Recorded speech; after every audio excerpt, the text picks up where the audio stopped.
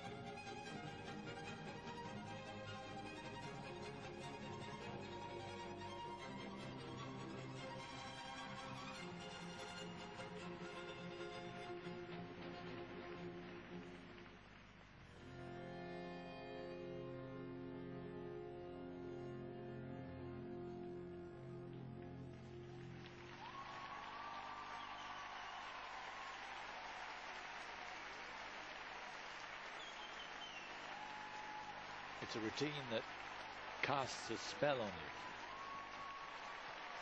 Simply gorgeous.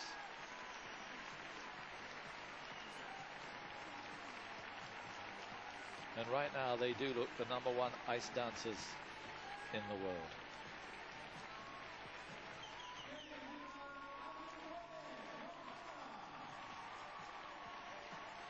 Maybe it needed Tessa Virtue and Scott Moir to take a year out, weigh up what they're going to do for these two to truly come to the fore. But that's what they've done. And whatever happens right now, these two should be regarded in the same bracket after a performance like that.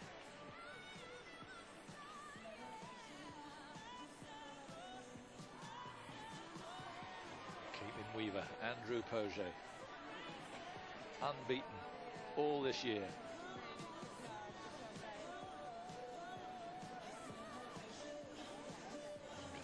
Just at the moment, they look unbeatable.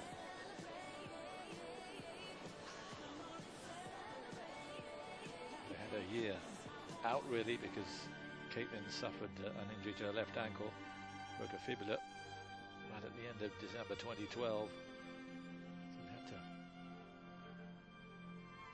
make rapid inroads last year and did so, finished runners-up in the World Championships.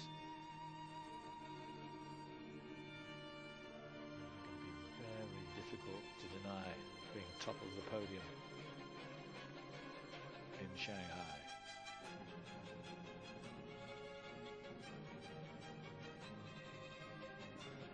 Even on super slow-mo, very difficult to catch any fault.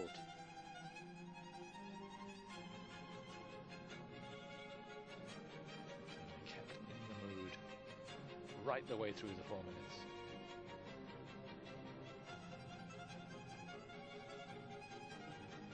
Held a lead going into the free. You wouldn't have known it was any kind of contest. It felt like an exhibition. And uh, in fact, they extended their lead to win by, well, in ice dance terms, a country mile, 14 clear points.